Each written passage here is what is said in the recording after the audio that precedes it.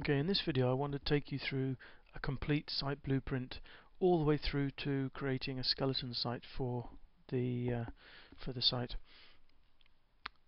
Let's create a new site blueprint and we'll select the golf club database and um, I'm going to call it golf club um, by manu manufacturer just so that I can remember which one it is because I've got a few test projects up.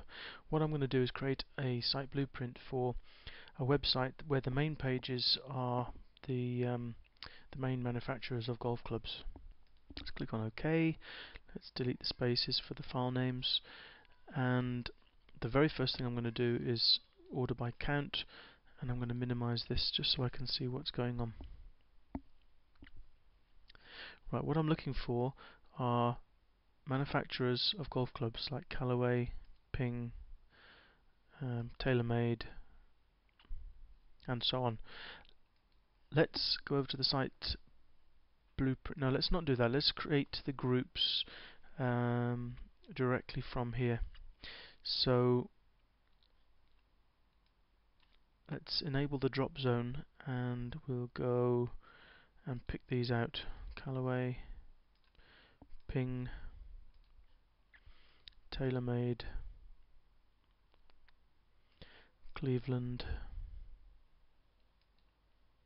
Let's include Golf Swing Trainer as well because train the trainers are very um, important for a lot of golf players. Let's leave it at that. We've picked a few groups there and let's create the groups.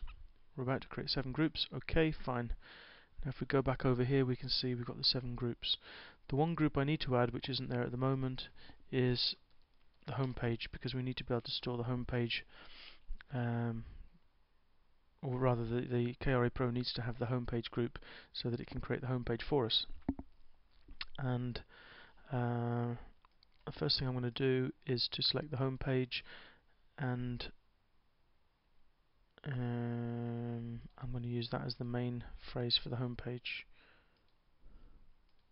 Okay, now we can go and have a quick check. There's the home page, there's the main page for it. While I'm on here, you'll see here that the file name has been given Golf Club Reviews. That's because of this phrase here. However, we don't want that. We want uh, index.html, which we can save. Right. Now, what we need to do is we need to find the, the phrases now for each of these sections.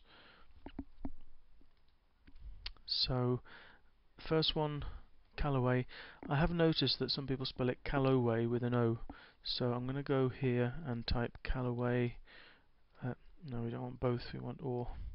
Cal if it's spelled Callaway or Calloway, filter.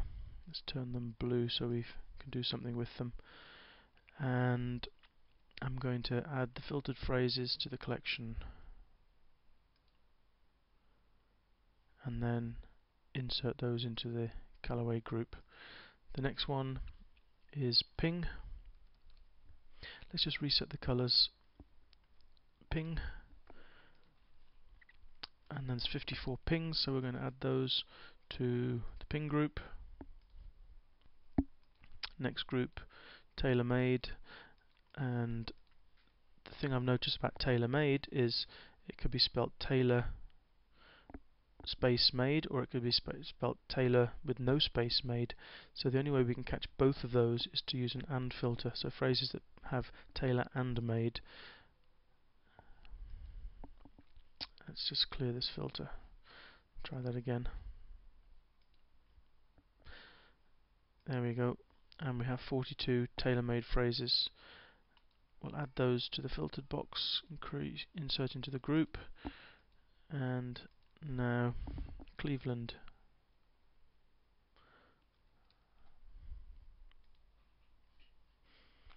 And we have 19 Cleveland phrases which we're going to add to the Cleveland group. Then Golf Swing Trainer. Um, for this I'm just going to put, let's have a look. Um, let's have the phrase either contains swing, because if somebody's searching for something with the word swing in, they're obviously looking for some help, or contains the word trainer, and filter on that. and you can see there we have 317 of those. Let's just add them all in now. Add them to that group. Phrases have been added. The next one is Nike. And we've only got 23 phrases there. But we'll insert them. And then Cobra. Filter only 16. Obviously we're getting down to less common makes of golf clubs here. And then if we go over to the niche, over to the site blueprint page, now you can see that we have list of phrases for Callaway, Ping, TaylorMade, Cleveland, Nike, Cobra, and homepage. Now, what I'm going to do is I'm going to set this up as a silo site.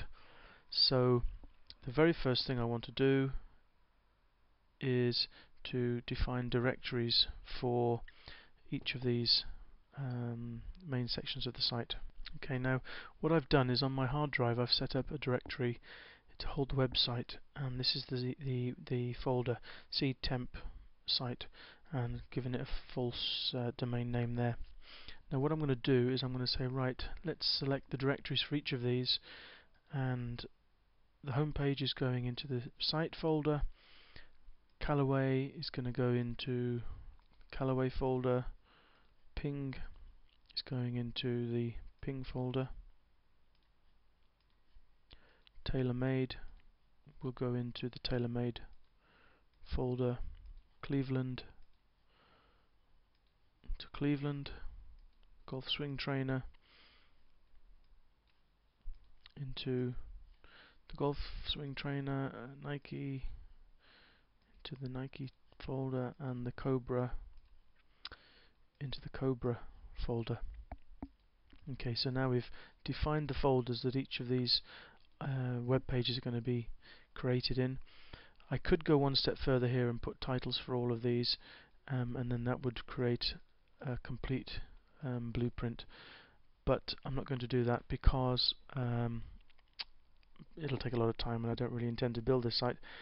Um, if you're going to do the site blueprint yourself properly then it's a good idea or you, you know you can do it later. So it's not vital that you put this information in here.